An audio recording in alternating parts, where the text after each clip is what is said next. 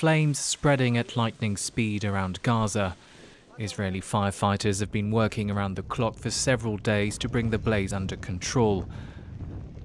These fires have been caused by Palestinian incendiary kites, their flaming tails turning them into weapons of mass destruction. We soak these rugs in petrol, we set them on fire, and then we fly the kites into Israeli territory. They may look like toys, but these kites can cause huge damage. Crucially, they're both cheap and easy to make. A kite costs no more than two euros, while it costs them millions of euros in damages.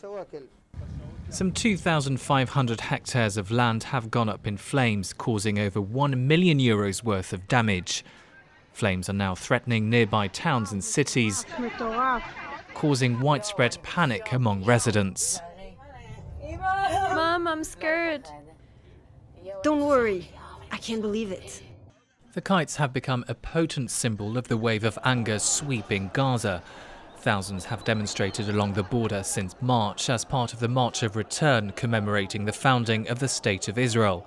Despite being mostly non-violent, protesters have been met with Israeli bullets, killing at least 125 Palestinians. Flaming kites, meanwhile, have proved a challenge for Israel's Iron Dome air defense system. The country has deployed mini drones to intercept them, as seen on these images provided by the Israeli army. Israel says it's brought down at least 500 homemade kites since March. Tensions, meanwhile, remain sky high.